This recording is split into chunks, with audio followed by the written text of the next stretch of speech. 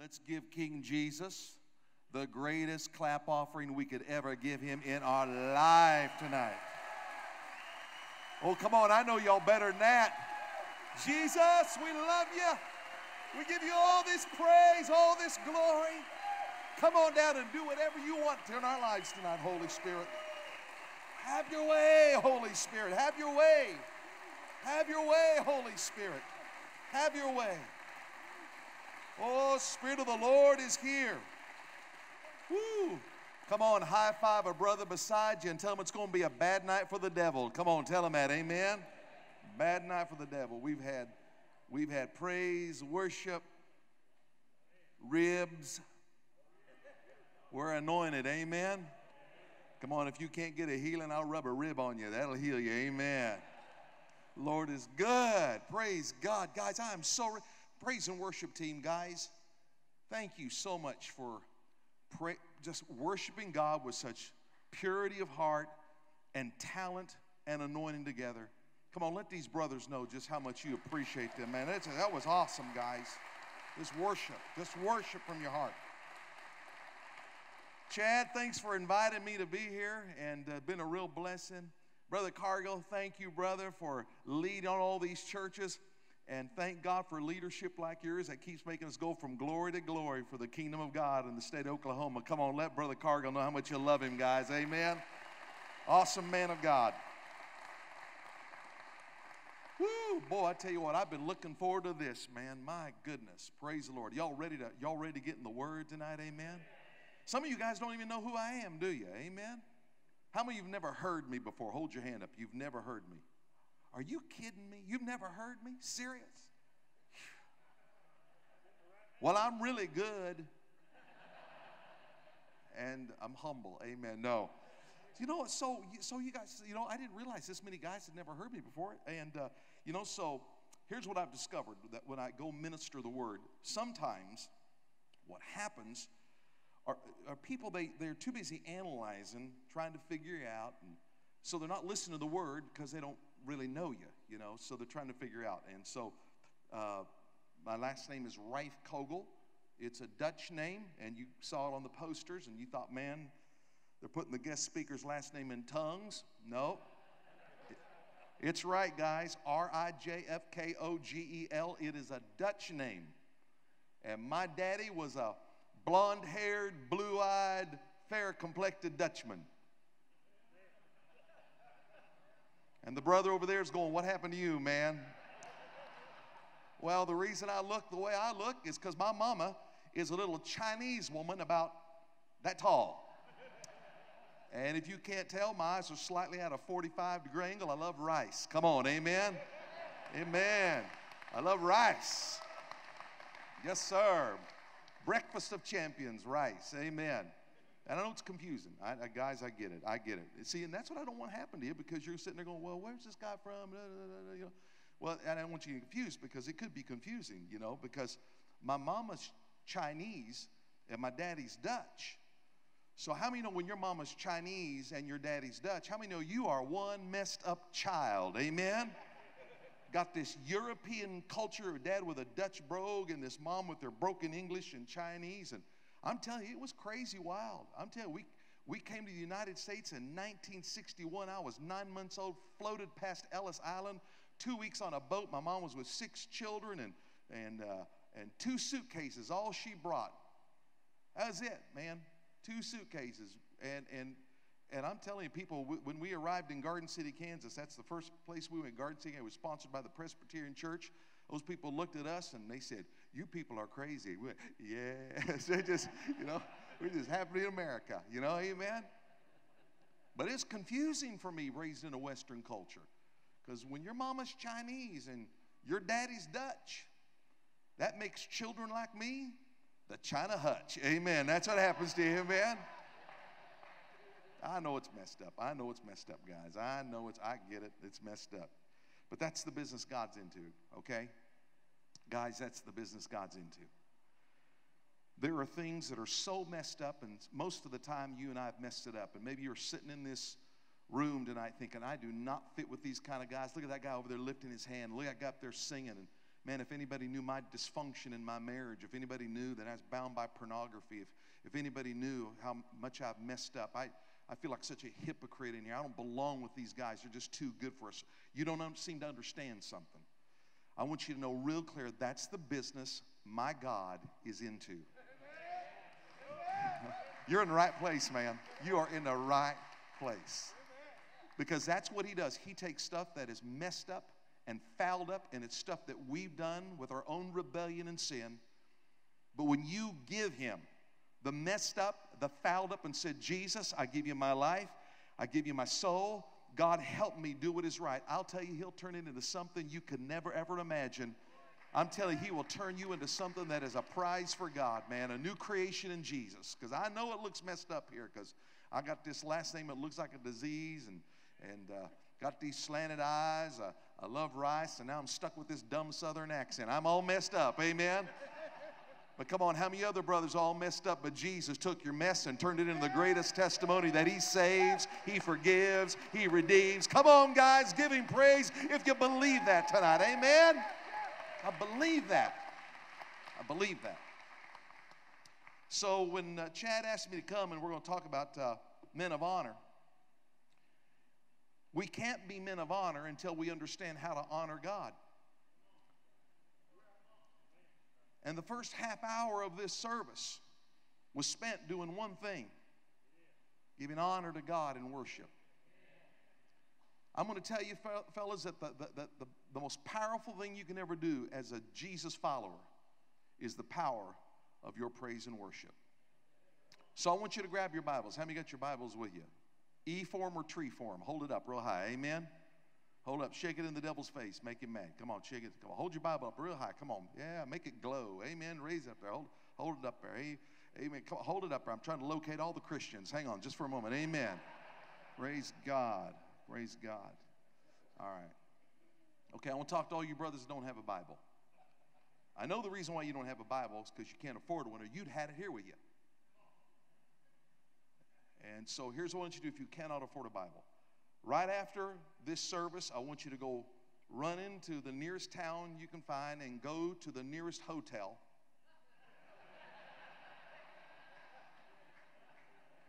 And I want you to steal you a Gideon tonight. Amen? Okay? You need the word. Amen.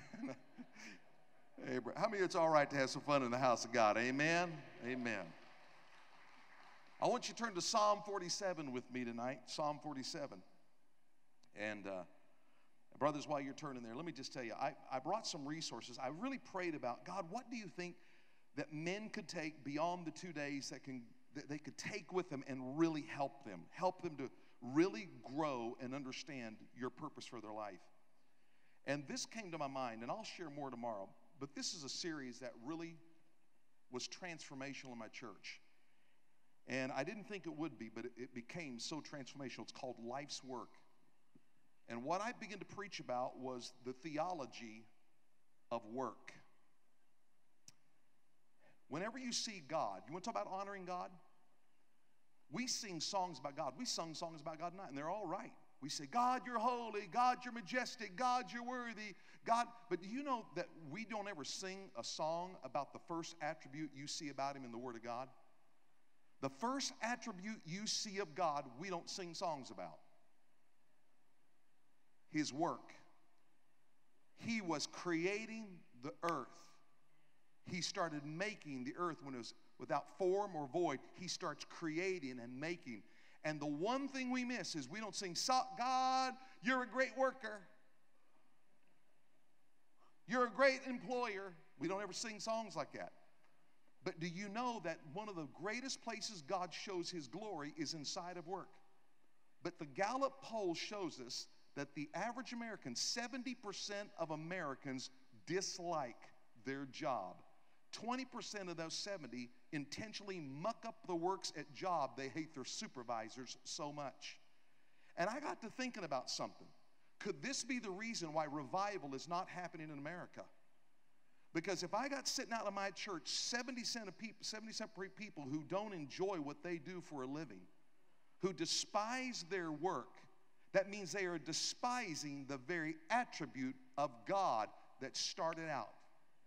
And could it be that the greatest revival will happen when you start understanding you are anointed to do what you do, whether it's construction work, flipping a hamburger, being an engineer or an attorney, and God's glory will come through it when you start seeing the anointing He's placed on you for that. In fact, when I started studying this, you know what I discovered?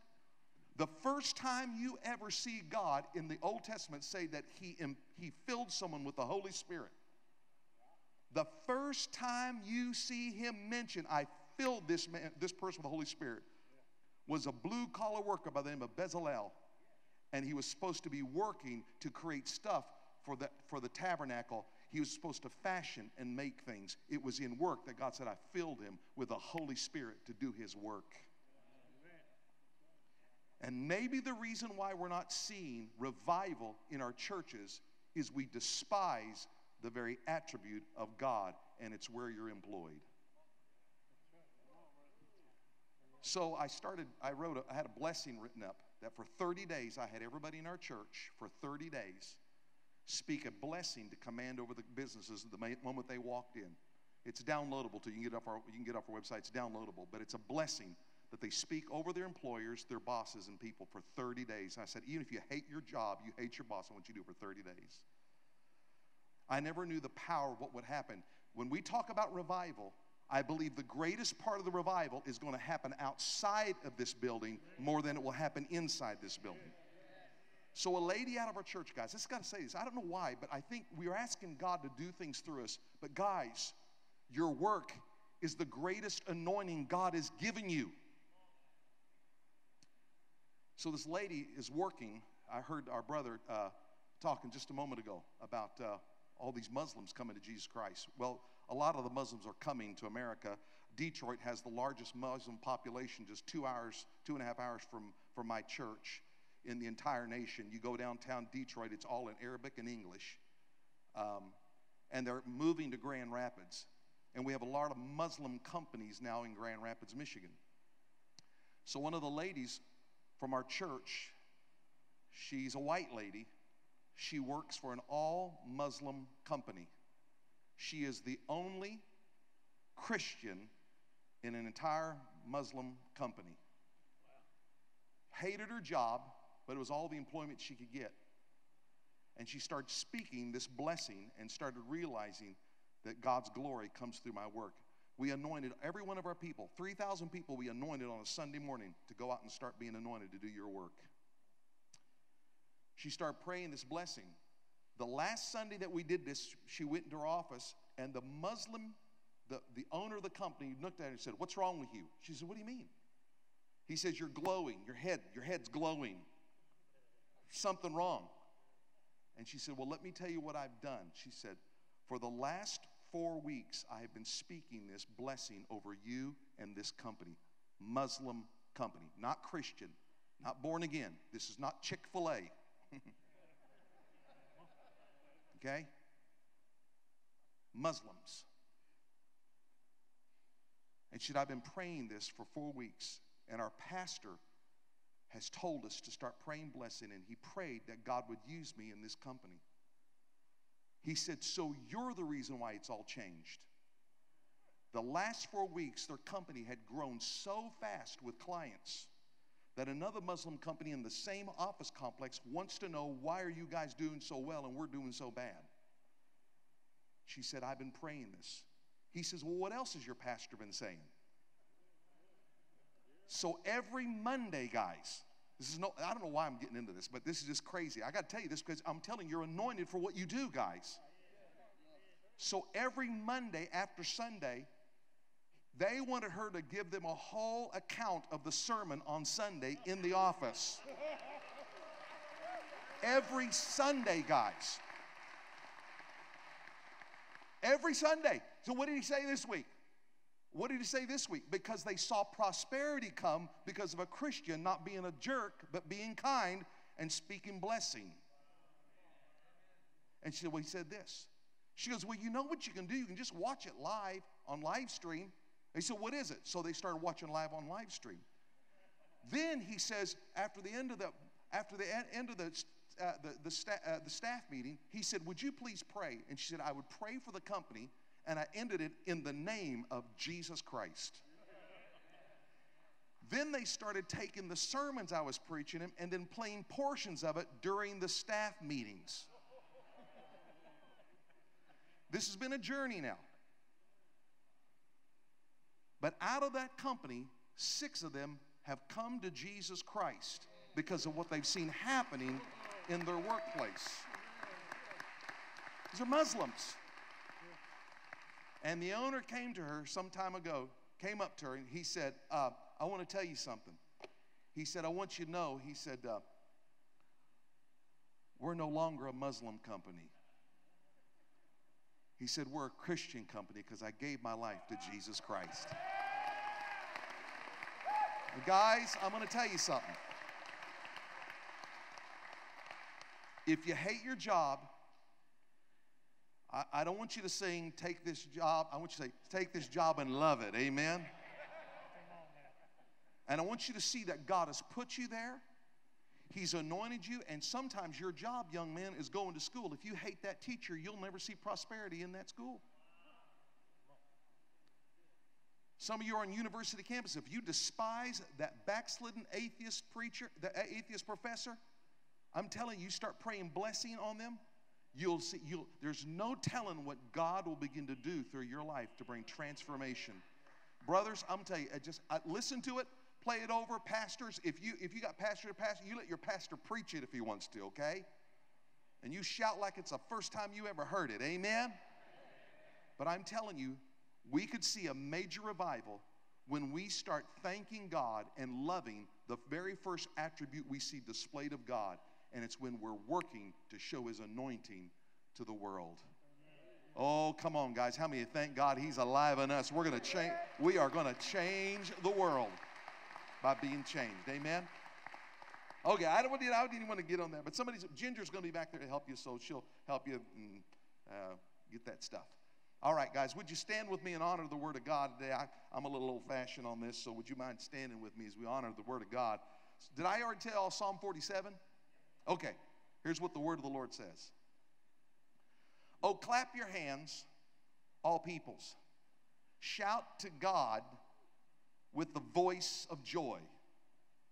For the Lord Most High is to be feared, a great king over all the earth. He subdues people under us and nations under our feet. He chooses our inheritance for us, the glory of Jacob, whom he loves, Selah. God has ascended with a shout, the Lord with the sound of a trumpet. Sing praises to God. Sing praises. Sing praises to our King. Sing praises. For God is the King of all the earth sing praises with a skillful psalm. Before you sit down, guys, I need to let you all know a little something as I get into this message, a little bit about me. Tonight, what you need to understand is that you have a Psalm 47 preacher on your hands tonight. And if this is your first time to ever be to a men's event, I want you to know you have come to a Psalm 47 men's conference. And I've already heard the worship team. There are Psalm 47 guys that know that when God says you can sing, clap, and shout, He really meant it. And the guy you're standing beside is a Psalm 47 brother in the Lord. And you're looking at that old man at the end of the at the end of your row and say, why does he sit there and cry and lift his hands and he's standing up and he's waving his hands? Well, let me just tell you something about that brother. He's a Psalm 47 pawpaw who's married to a Psalm 47 Mima. And when he was a teenager, he was an alcoholic and he used to he used to be someone that cussed and would beat people and angry at, at, God and angry at his family. But one day he met Jesus, and ever since that day he met Jesus, you can't stop him from being a Psalm 47 papa. So just leave him alone while he claps, while he shouts, and while he praises God. And I want you to know that tonight in this room, guys, you are free to be a Psalm 47 man of God in a Psalm 47 service where you can clap your hands, all you brothers. You can shout to God with a voice of triumph and you can sing your praises to God. So, all I know is this. All I know is this is that Satan hates what you're doing. And since He hates it, we love it. And since He doesn't want us to do it, we're going to do it. So I say, come on, brothers, before you sit down with all your might, your soul, give him the greatest Psalm 47 praise and clap your hands.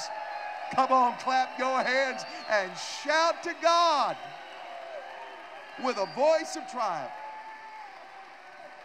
Woo! It's going to be a great night, guys. I'm telling you, I, I sense the Holy Spirit in here. I sense the Holy Spirit in here. High five the brother again beside you and say, Man, the devil's going to wish he never picked on you. Tell him that. Amen. He's going to. You can be seated, guys.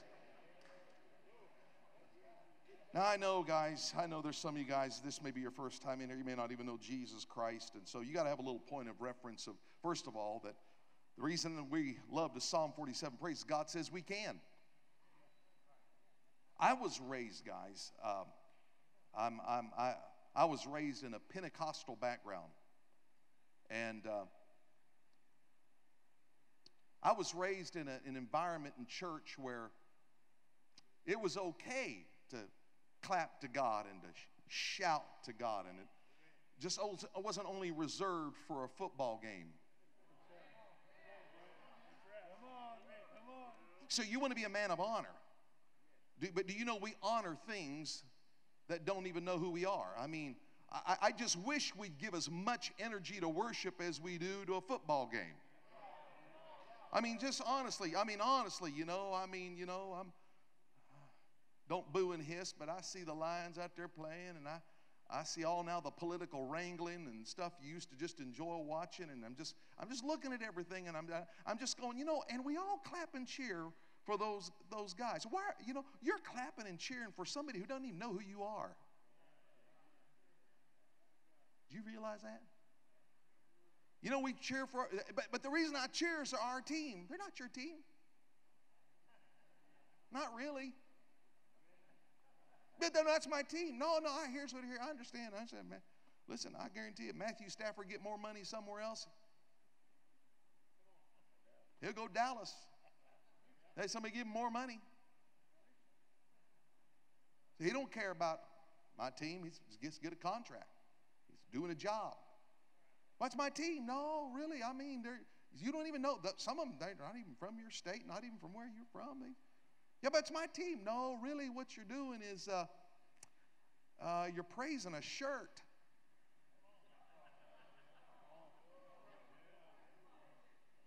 I mean, I don't mind. I do with the best of y'all. But honestly, we're just really celebrating over a shirt because if they leave, the shirt stays. They go get them another shirt. So when you really put it down to everything, we're really worshiping a shirt. And I'm sitting there praising guys and honoring guys that I'm not even on their radar. They don't even know who I am. And I'm sitting there rejoicing over their shirt.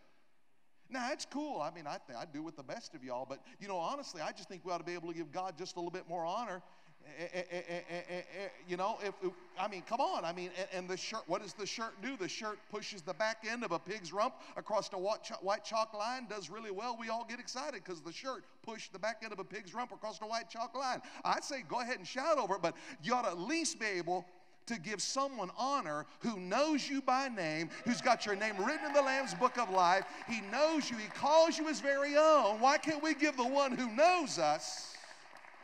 Who puts robes of righteousness on us, even more praise. I'm just saying. And then they walk into church and they think, well, all this sing, clap, shout, ah, no, no, no, no, no, no, no, no. We, we really don't need all that, you know.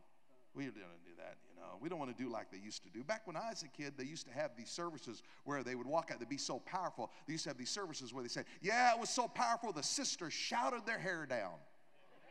Okay, how many brothers have ever heard that before?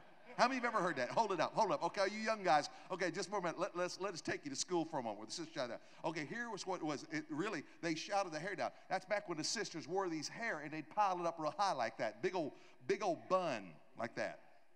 Okay, that's back when, our, when the sisters lived in bondage. Okay, that's what they lived in. And you, some of you remember your mama, they used to have that, and they pin it up because they said the woman's hair was her glory. So they had more glory, and they just piled it up, you know. But when it got worship services, you know, they get a little excited, you know, and they'd be worshiping God, dance for the Lord, and all of a sudden their head would go this way, but the hair was so top heavy, it'd be over here, and then they saw her hair was over here. She'd try to get over to her hair here, and then her hair'd go this way. And, and really what happened was that is what was the was the structure of the hairdo could not keep up with the stress of her worship. And, and it started going like this, you know, and start going, and pretty soon, you know, bobby pins would come loose, and, and, and, then, and then the kids would see the bobby pins coming loose, and those things would fly across the auditorium like a missile. Kids would dive under pews because they're going to get killed, you know, and, and, and the sisters would get happy, and then they shouted their hair down. That's what they call it. The hair would fall down. So we don't have shout your hair down services because uh, the sisters now got better hairdos. Amen. Right? Yeah, better hairdos. But but but I I'm not talking to say that that is the that that that is the uh, that's the measurement by which you prove spirituality. But there is something that is alarming and troubling to me where all of a sudden we walk into churches of America and we think that the praise God gives us permission to do, to clap, to sing, and shout, that that was reserved for people back then who were archaic and antiquated. It's for those people that were we called spiritual rednecks. It's for the religious country bumpkin who, who had no intelligence. So they just got their emotions massaged and they'd work the music up and they just go crazy. And I believe me, I know there have been excesses, and I do know there have been people that have gone, you know, uh, you know, got the spirit of loopy on them sometimes. I understand that, but I'm telling you something is troubling to me. Where now we perceive as clapping or shouting or dancing before the Lord as something that is undignified or that no longer has a place in our worship of the believer when they can shout to God with triumph and clap unto the Lord and sing before the Lord and dance in the presence of God. That somehow that is no longer that is no longer, you know, the kind of thing you want to do in the presence of God among people. But, but, but we have no problem shouting when our little grandson Throckmorton kicks a soccer ball. We go absolutely crazy and we start cussing out the ref because he made a bad call. But, but, but uh, they're, they're, they're fans. In the football fan, they're fans, so they can act like that. But if we do it in here, we're fanatics. But you're a fan. So you can paint half your body red, half your body white, but you're just a fan. But if uh, you but, but here, don't, don't, don't get too excessive. Don't go, don't clap too much. Don't give God too much honor, the one that knows you by name, instead of giving more honor to people who don't even know who you are.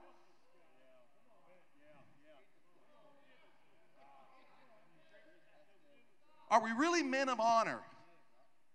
That we honor him with all our heart. Yeah, but I don't want anybody to think that I'm undignified. I'm afraid that someone might think, you know, I, I just, you know, I'm some kind of religious country bumpkin or something if I clap my hands or if I lift my hands or whatever. Oh, oh, so so they're fans, but we're fanatics. Hold on just a moment, just for a second, just for a second. Do you see anybody in this service at any given time with one of those big dumb red foam rubber fingers stand up going, Yeah, Jesus, he's number one, Pastor Sam? Have you seen that tonight?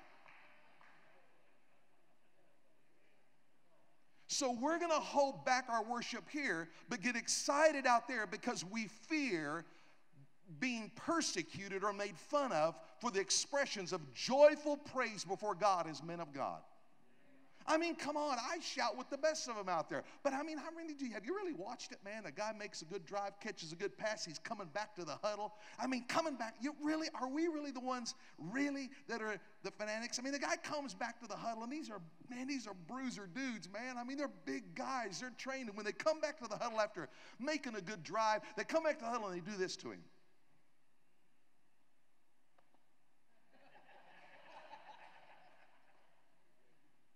I'm just saying.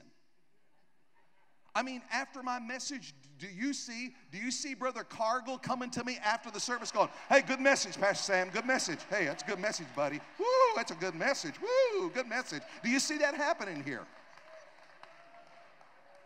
So, why are you allowing the world and the intimidation of people to hinder you from responding, young man, or praising God, sir, the way you were designed to praise God? I say what you're doing out there on the field is an indicator of what God created you to do, and that's to give the one who's the all glorious, all powerful, almighty God all the praise, all the glory, all the adoration, to clap your hands and to praise Him with all your might. So, okay, so Pastor Sam, okay, yeah, yeah, but why did we do this? Well, why do you do what you do? Well, we've always done it. Just get excited out there. You know, I, you know, we did that in church a lot, you know, because I, I was a kid raised in church. You know, we couldn't do this, couldn't do this, couldn't do this. Why can't we do that? Well, we just don't do that. Well, why do we do this? Well, we we love God. No, I'm the kind of guy that I want to know why you do what you do. So you tell me, Pastor, and the Word of God says clap, sing, shout. Well, why do you think, why should I do that? Tell me why. Just because you say it? See, if you don't tell the next generation, my brothers, why you do what you do and why you believe what you believe, they will cease to believe what you believe and stop doing what you know to do if you can explain why we do what we do and why I believe what we believe. So I just don't want to tell you, guys, be men that are liberated by the Spirit of God, born again, to be men that are vessels of praise. Why did he say, respond that way? What happens? Well, I'm glad you asked because I'd like to break it down for you today. Psalm 47 1, let, let, let's, let's, let's just break it down for a little bit. It says, Clap your hands, three quarters of you people. Help me out, little brothers. How many? All you people. So why, why, why clap? Why clap, Pastor? I mean, what? Why clap? The reason why we clap is when you look at this word, is that you'll discover that clapping, when understanding of why you're doing what you do, when you're singing a song, when there's something said powerful when your pastor says it, or when it's an appropriate time to break forth in applause, the reason why we clap is that clapping attracts, it draws something, it pulls something that otherwise would not be there. In fact, when you look at the word clap there, there's something different about this Hebrew word about clapping. The word clap there means to express joy, appreciation, encouragement. In fact, guys, if I could just even do it this way, it literally, it, it literally means to welcome or to greet someone as if they are entering into a room. You think about this for a moment. The most important individual in this room is not me, and it's not you. The most important thing in this room is the presence of the Holy Spirit of God in this room right now. And, and when you clap with understanding, it is literally saying you are showing appreciation you are encouraging the Holy Spirit to have His way and come into this service, come into your life, invade my space. Come on in, Jesus. You are literally inviting Him to come in.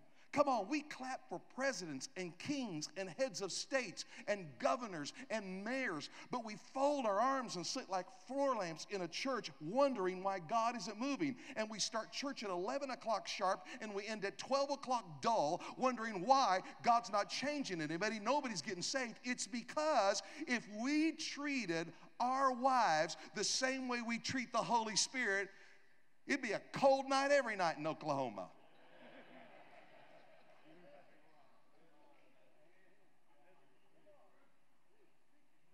It literally means that I am welcoming and saying, Holy Spirit, come on in.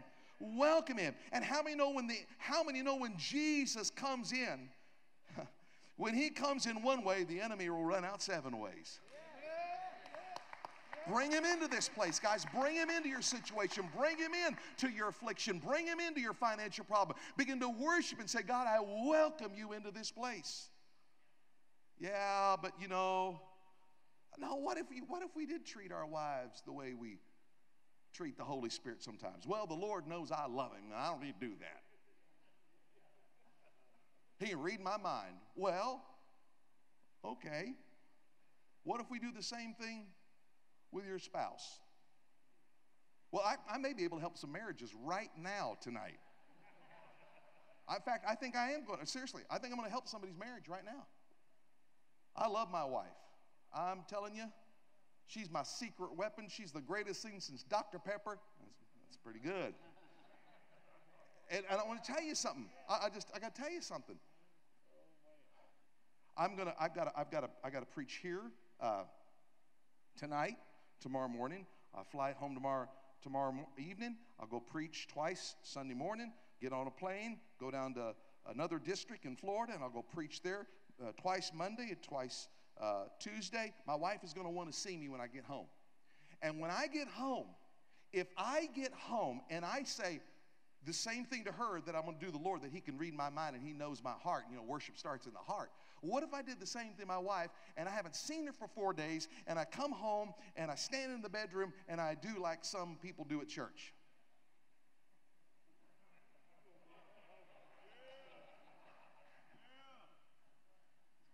And she says, What are you doing?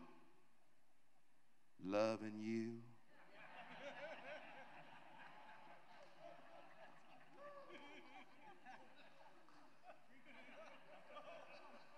In my heart. How many know she's going to get a frying pan laid between my eyes and beat the devil out of me that got in me while I was away? Because how does my wife know that I truly have honor for her? Praise is not praise until it is articulated. Praise is not praise until it's demonstrated all of a sudden what's in my heart has to begin to manifest in a way. But when I go up to my wife and I hadn't seen her, and it's, but when I walk up to her and I say, baby, look what I bought you eyes away. Ooh. And I go take my arms and I don't sit there and hold them to the side and say, I just don't respond. It's just not my personality. I go put my arms around her and say, Baby, I love you. 27 years, I tell you what, line up all the women in this world, I'd pick you all over again. Let me just tell you, Brett, it's going to be a good night. It's going to be a good night.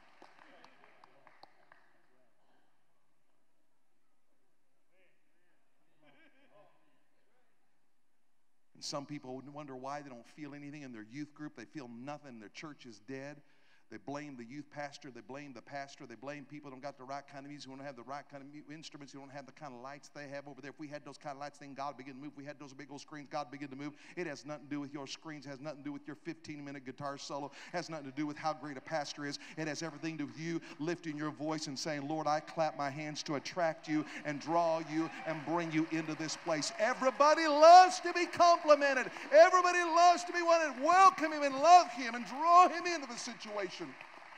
Come on, I love to, I don't know about you, but I love to hang around people that say, hey, that was a good word, man. I really pre I don't like people that pick on me and say, I don't like what you wore. I could really got something out of God if you just wouldn't wear black tonight. Why'd you wear black tonight? I like to get around somebody tells me, hey, I like you. And then, you know, you know, be that kind of a person that compliments people. You say, well, I, you know, I'm not good with compliments and they don't dress good. They got bad breath. They wear ugly clothes. And, you know, you can find something good to say. You know, hey, those are nice shoes. They look like they both fit. I mean, just, I mean, be a person of praise, guys. Come on. And when he says, clap your hands, all you people, come on, we are welcoming the presence of God. We are welcoming the Holy Spirit. Come on, guys, let's begin to praise him with a clap offering and say, Holy Spirit, come on in. Come on in, come on in, come on in. All right, I'm you kind of take you a little deeper. So clapping not only attracts, but there was another part of clapping that you see in the word that attacks. It literally becomes a weapon against your adversary. Go home and read this, guys. Go, go, go write the, go write, go right down Ezekiel 6:11. God tells Ezekiel, he says to him, Go act out my judgment against my people. And he says, Here's how I want you to do it. He said, I want you to stand before them Go, go read when you get home. He said, I want you to clap your hands, strike your hands, flesh upon flesh, and stomp your feet. That's all he said. He said, strike your hands, stomp your feet. Now, the clapping there is not to attract or encourage or to show appreciation or joy. When you see clapping there, you might see the English word clap, but it meant something totally different there. The act of clapping there was actually an act of disdain to ridicule or to mock your enemy, to scorn your adversary. it literally meant that he was putting judgment on them by simply the action of clapping his hands and stomping his feet. He was literally saying, The judgment comes upon you. God ridicules you. God scorns you. God mocks you. Guys, listen to this. When we begin to clap our hands in a service, it not only attracts the presence of God, but it's carrying out the judgment of God upon your enemy, Satan, every time you begin to praise God. It says, I mock you, I scorn you, I ridicule you. Do you know? Do you know, seriously, do you know among heathen pagan religions, they understand this better than most Pentecostals do? Um, how many of you guys know what sumo wrestling is? How many of you guys know what sumo wrestling is? Y- y'all see, you know, that's what, that's what I felt like God had called me to be before I went in the ministry. I was going to be a sumo wrestler. Got on that low carb diet. And look what happened. So, so, so sumo wrestlers, what do they do? If you ever seen them, traditional sumos knew, know this part. Uh, they'll get out there like this, you know, they walk out and they go out there and then they come up and they face their opponent, their enemy, and they'll do this. Have you ever seen this? They'll, they'll throw that the salt, and then they'll do this. They'll do that. Just go. Traditional sumos, the reason the striking of the hand was there was the striking of the hand was actually an act of driving away evil or dark spirits before you enter into the war with your opponent. It was to drive away spirits, dark spirits, evil spirits. Even pagans have a somewhat of an understanding of just that little act. Now, how many know when the devil watches, you know, sumo wrestler, you know, going out there doing this, you know, how many know there's no threat to Satan at all, okay? He just, you know, sees a, you know, a huge baby in an oversized diaper playing patty cake, okay? This is not gonna, this is no threat at all. But my brothers, when you hear your pastor say, say something, he's preaching something, and you can sense the anointing of God, and you can sense it's appropriate in that time to begin to applaud at a word, what you are really doing is you are not just acknowledging the world, you are sending a judgment against the enemy. You're saying, I mock you, I scorn you, we pronounce this judgment upon you. Guys, the enemy hates when you clap before the Lord to attract his presence, and he hates it because it begins to destroy him. How many believe we ought to clap our hands one more time and begin to put the enemy at flight tonight? Put him at flight tonight in the name of Jesus. Oh, clap your hands, everybody. Hallelujah, guys.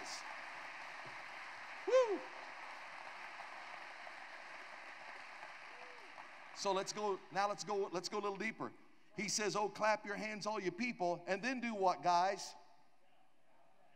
Oh, no, no, no, it's not. It's not. Shout, shout, yeah, yeah. It's shout. Shout unto God with a voice of joy or triumph. Shout to God. Why do we shout? When you look in the Word of God, you'll see that sometimes the shouts of praise were an aggressive faith act. As they would go into battle, it was, it was a declaration and an intimidation against the adversaries. Now look at Psalm 68 1. It says, Let God arise, let God arise, and let his enemies be what, everybody? Let those who hate him flee before him. He says, Let God arise, let his enemies scatter. People say, How do I get rid of the devil? How do I get rid of the devil? You don't need to know how to get rid of the devil. What, if God arises, your enemy flees. So, my question ought to not be, How do I drive the devil out of this problem? Your question ought to be, How do I allow God to arise? And I know what the, I know what the outcome will be of God arising. So, what I got to find out is what's something of a pure act of worship with understanding, a pure act of praise that gets God to arise? Glad you asked. Psalm 47, verse 5. God has ascended with a, he ascends with a shout. The Lord with the sound of a trumpet. Here's what that really was those folks would have understood it clearly. Whenever a king would go up to his throne, which was the place where he would begin to bring his authority, every time he ascended up a step, the people would begin to lift their shouts to that king. And every time they'd shout, he'd step up another, and the shout would intensify. With the next step they would shout, he would keep going until he finally sat in the place of, th- of that throne that was now the authority whereby he could rule. Can I tell you what happens to you and me so many times? What happens to us so many times is we allow our crisis to ascend, the doubt of the enemy to ascend, to allow our temptations to ascend, to allow our addictions to ascend. But he says, when you begin to praise God in the middle of your crisis, in the middle of your bondage, and begin to thank God for his victory in your life, he says, what God does is God starts ascending with each shout of praise that you give.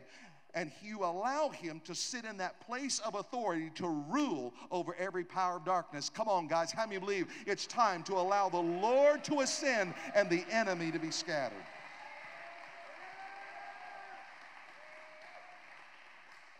I'm telling you, too many people that shout of praise. It's actually the Hebrew word shabach, means to shout unto God with a voice of triumph. It's aggressive faith act. God arises in the shouts of praise. Let's go to verse 6 now. Okay, let's see if y'all can figure out what we got to do next. Okay, going to take a lot of word of knowledge to figure this one out, but here it is. Sing praises to God. Sing praises. Sing praises to our King. Sing For God is the King of all the earth. Sing praises with a skillful song. Brothers, what are we supposed to do next? And he says, you know, when you sing, sing with a skillful song. Now, I know all of us aren't as talented as these guys are up here. I, I appreciate these guys when they sing. You can tell these boys practice, didn't you? They're practicing, they're working, you know. They developed their gift. When I was an evangelist, I used to go to churches. I was evangelist for 21 years before I pastored now for almost 13 years. And and uh, I go to some churches and they, they, they didn't want to practice, you know, you, you know what I'm talking about. You know, they didn't want to practice and they get up and start singing a special and they'd forget the words and so they'd start crying, act like they was in the spirit.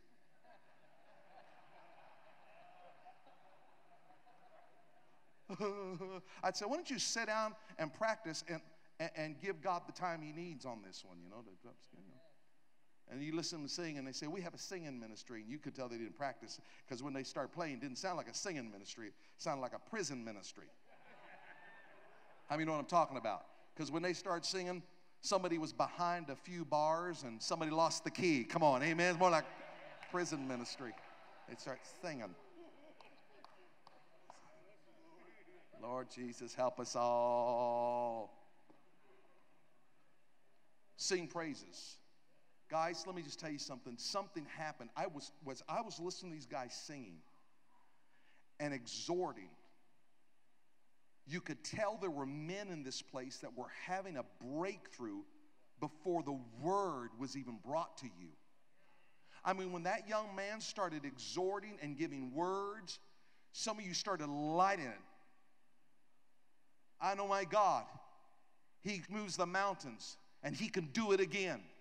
And I've started feeling that rising up. Started rising up in some of you guys. What was happening was, is your song gives birth to miracles. There's, there's a reason why Isaiah 54 1 says, Sing, O barren woman who never bore children, burst into song, shout for joy.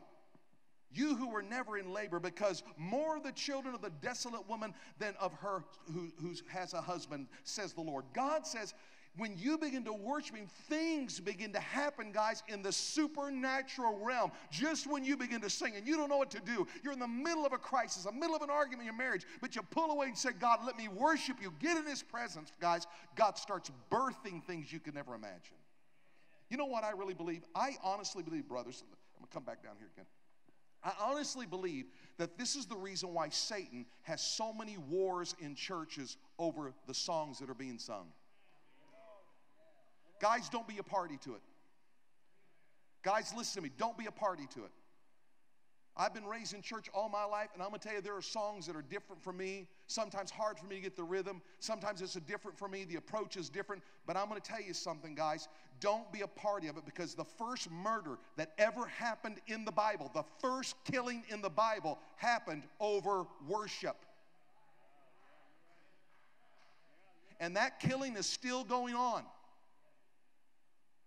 because one's worship was accepted, the other was rejected. And I'm telling you that Satan creates more wars And most of the time, guys, it's not over the power of a song, it's over your personal preference of a song. Never allow preference to become truth in your life. Let the Word of God be the truth. You guys following me on this?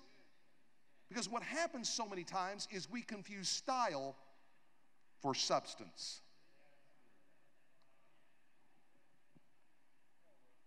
You, the song that some people may have dissed may have been the very song that God was going to use to liberate their child. I'm not saying that songs of the past aren't bad or songs of today are bad. I'm just simply saying, you know, sometimes I tell some folks, okay, you want me to save your song or save your grandson? Which one do you want?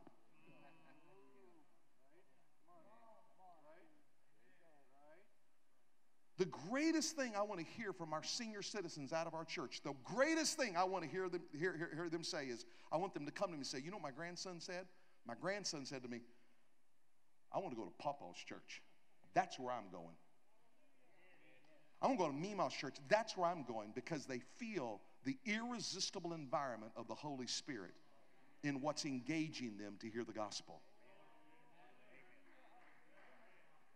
I wonder how many church services have been murdered because someone harumped and folded their arms because the rhythm wasn't theirs. And I get you, I understand it's tough. It's as tough for me as it is for you. But I wonder how many times we folded our arms and Satan knew that the song was going to give birth to something, so he wanted it aborted and stopped your song, not over the substance of the song, but over the style of the song.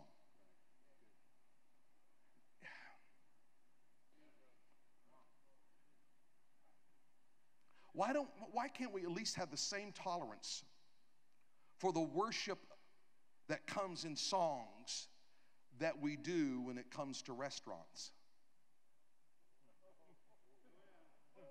How many glad that every restaurant in whatever city you live in, how many glad that all the restaurants are not Taco Bell? Thank you, Jesus. They had that one slogan, run to the border. No, it's run to the bathroom, man. you gotta, gotta run to the bathroom. How many glad that all the restaurants in your town are not Italian food? Okay?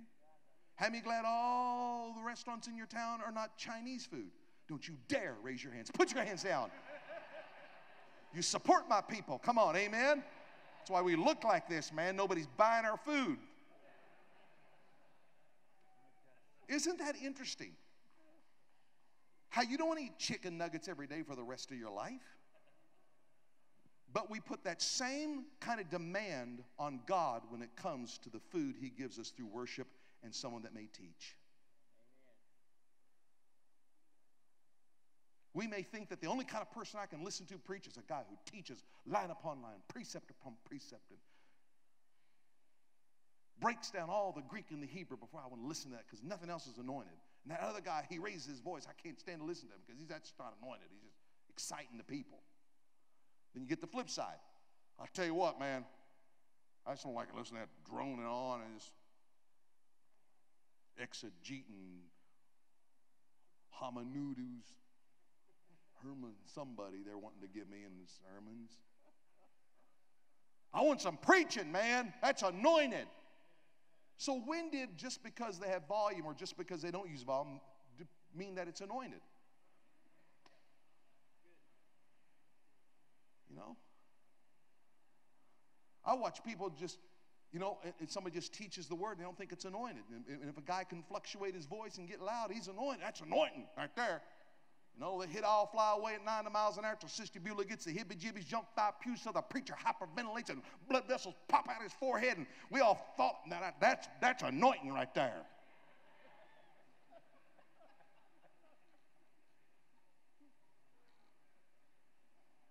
It's not anointing until he gets them hot taz when he preaches. He gets them hot taz. That's a Holy Ghost, honey. Hot taz. Y'all don't know what the hot taz are? Come on, you're from Oklahoma. You all know what the hot taz are, don't you? Come on, so when preachers get going and God saying His word, and you're gonna have the power to the, and you're gonna shake you, you're gonna bake you, you're gonna make you, you're gonna move you. People are falling out. You say, what did he say? I don't know, but I feel better. You know what I mean? Just crazy.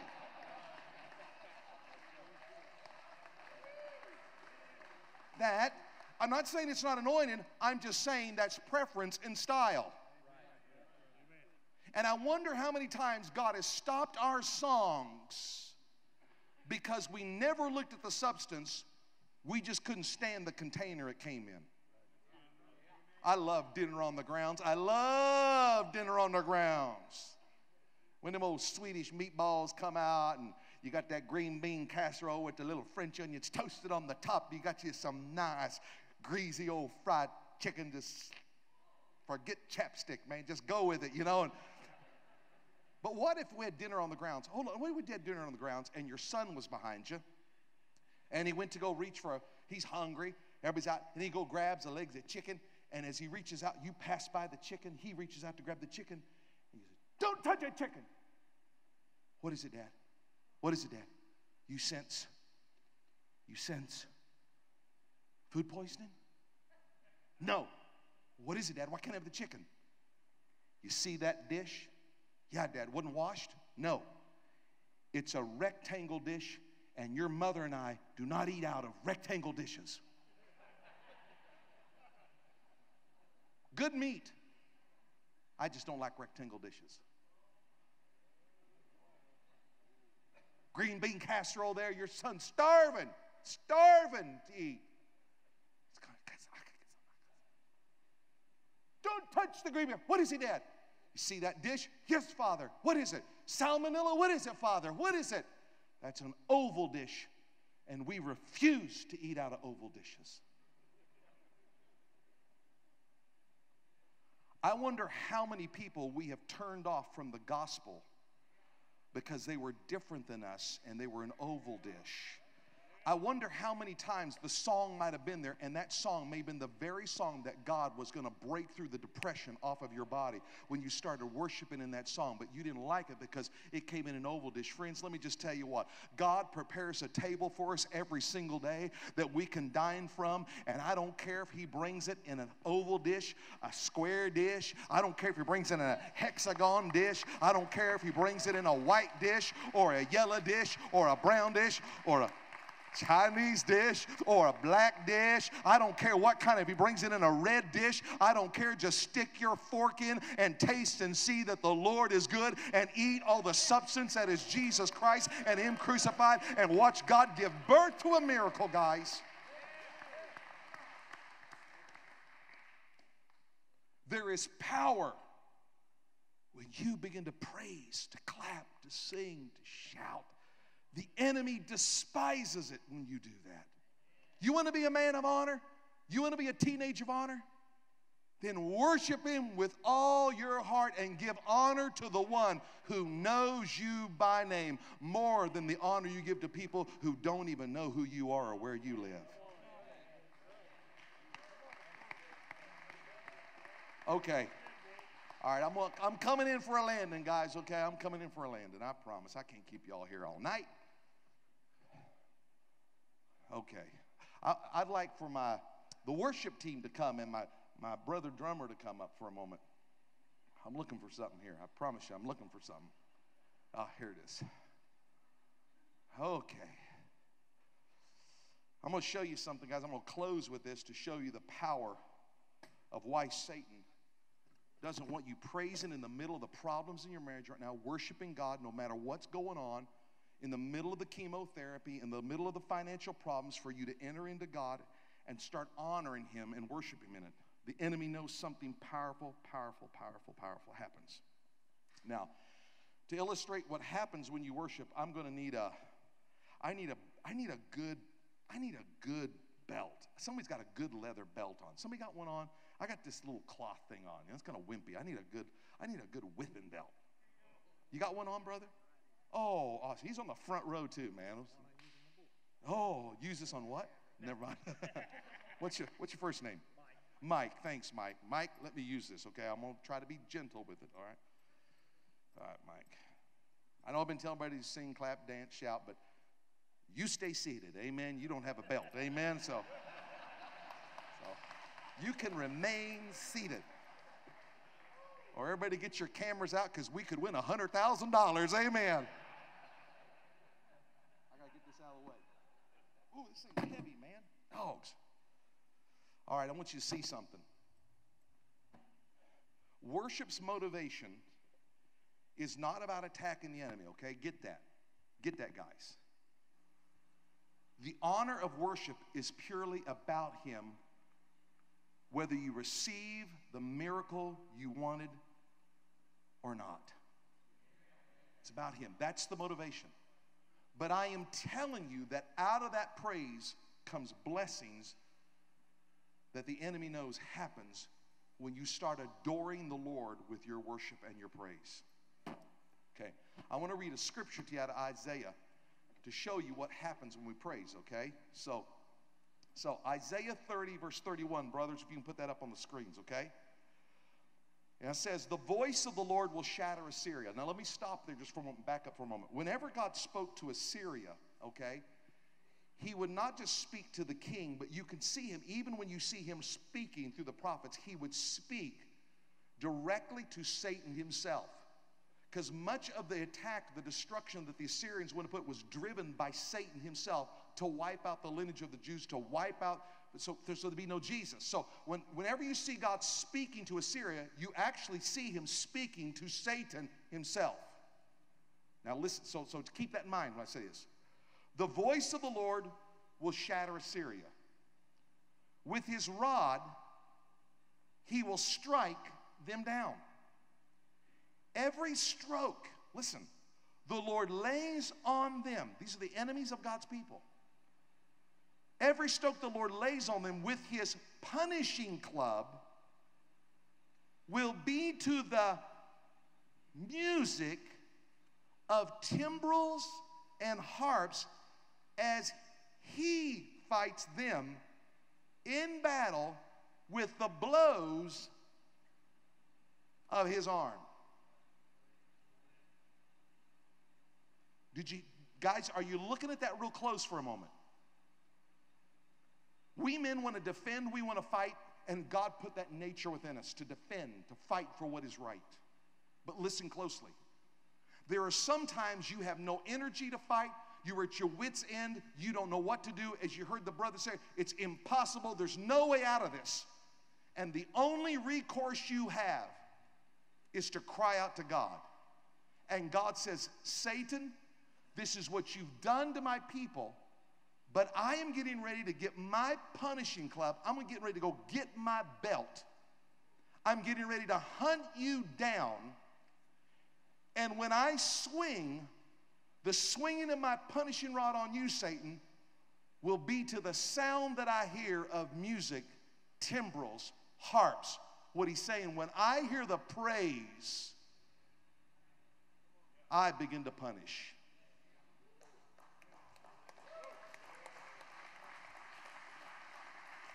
So, so are you are you understanding this?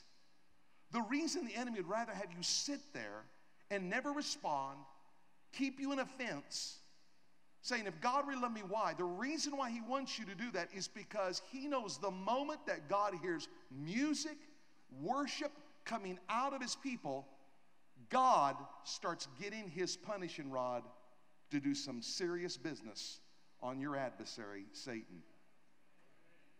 Okay, I, me, I got to illustrate that. Baptists would be shouting by now, guys. Come on, you got to. I'm just kidding. I'm give you a moment. I'll give you another chance. So here's what we're gonna do. Many of you brothers have come in here with situations that you feel like you have no control over anymore. I'm telling you the power of your worship to honor God just for who He is can take that demon and destroy him right now. You don't have to fight. He fights him with the blows of his arm. So right here, this is this is going to represent the one that's splitting up your marriage right now.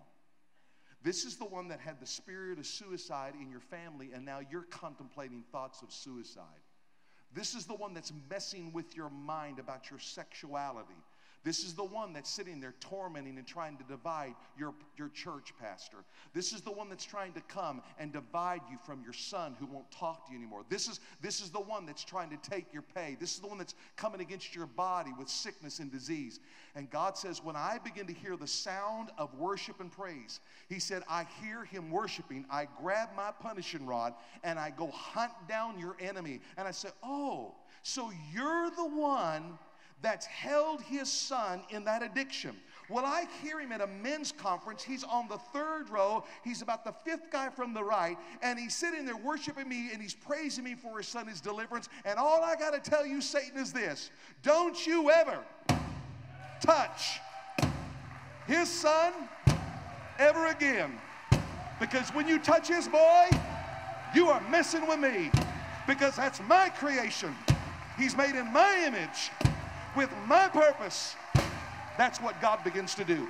He goes and begins to find the guy who's in financial problems, whose marriage is all messed up, and your wife's getting ready to leave, but you're still singing your song saying, God, I know you can restore. God goes to that devil and says, So you're the one that's trying to break up that marriage. I want you to know he's worshiping me, and don't you ever touch my son or my daughter ever again. That's not their marriage, that's my marriage. And what I put together, no man shall put asunder. He's going to praise me for his wife. What I'm trying to tell you guys is if you'll keep on singing, he'll keep on swinging. Come on, why don't you lift up a praise before God and give him the mighty praise and turn the weapon back on the enemy?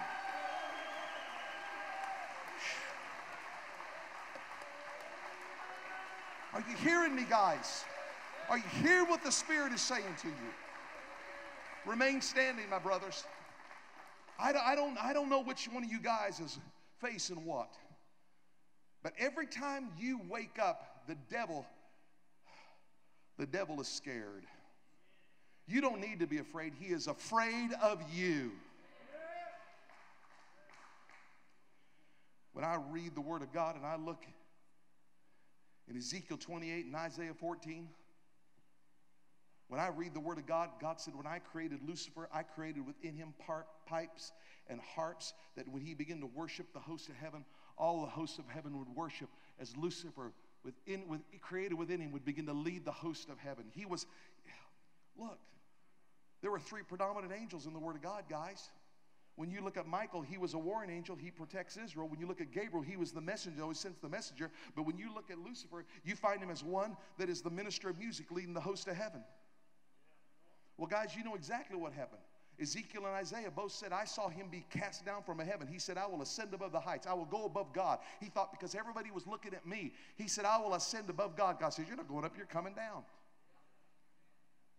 And guys, here's what happened God booted the minister of music out. And when I read the Word of God, I never see where God ever replaced him. So, what I'm trying to tell you is, I've been reading the Kingdom Classifieds, and the job is still open. The job's still open, guys.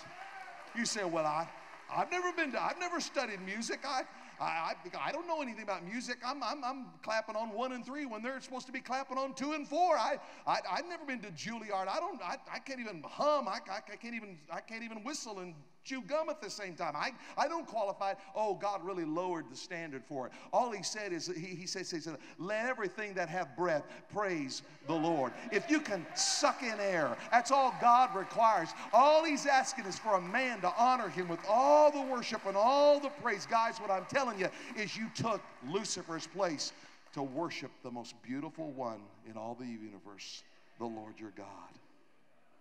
I don't know what you're going through, guys. But your worship has a power to strike down the enemy, to strike him down. There's guys in here, man, you pleaded, you've been speaking the blood of Jesus, you've been binding every devil, and you're still dealing with the addiction. Have you ever thought about just getting up there and just start worshiping God when the middle of the temptation comes and say, God, I give you glory. And I give you honor. And you know what God will do? God will get up and He'll grab His punishing rod and He will beat the hound out of Satan as you just begin to worship in the middle of it. Your greatest victory comes out of your honor to glorify and worship Him. Come on, brothers. Can we lift our voices? Can we begin to thank Him right now? Just bless His name. Begin to bless Him. Holy Spirit, move through this place.